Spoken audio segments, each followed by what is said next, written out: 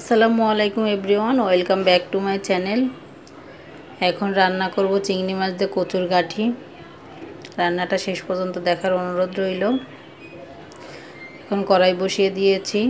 তার ভিতর দিয়ে দিলাম তেল। তেলটা দিয়ে একটু গরম হয়ে গিয়েছে, দিয়ে দিলাম পেঁয়াজ কুচি। পেঁয়াজ কুচিটা দিয়ে একটু নেড়ে নিলাম। এখন দিয়ে দিলাম কাঁচামরিচ থেতো করে দিয়েছি।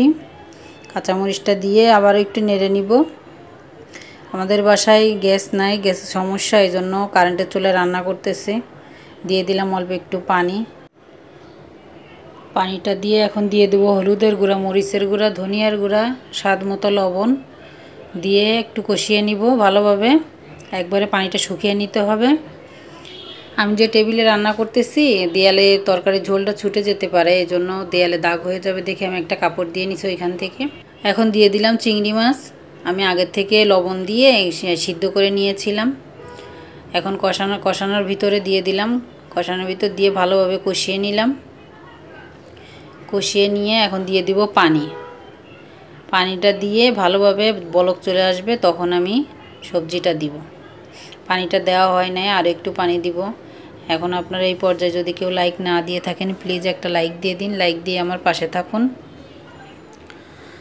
পানিটা বলক এসে গেছে, ঢেকে রেখেছিলাম। বলকটা আসার পর এখন দিয়ে দিলাম আলু আর গাঠি। গাঠিটা দিয়ে ভালোভাবে নেড়ে নিব। নেড়ে আবারও ঢেকে দিব। ঢেকে রান্না করতে হবে। এভাবে রান্না করলে গলা চুলকায় না। অনেকের আছে কচু খেলে গলা চুলকায়, কিন্তু এভাবে রান্না করলে গলা চুলকায় না। এই জন্য আমি এভাবে রান্না করতেছি। কষিয়েও রান্না করা যায়। এভাবে রান্না করলেও খেতে ভালো লাগে। আপনারা রান্না করে দেখেন, রান্না শেষ হয়ে গিয়েছে। আজকের মতো এখানেই বিদায় নিচ্ছি। আল্লাহ হাফেজ। আবারও নতুন কোনো রেসিপি নিয়ে ফিরে আসব। আসসালামু আলাইকুম।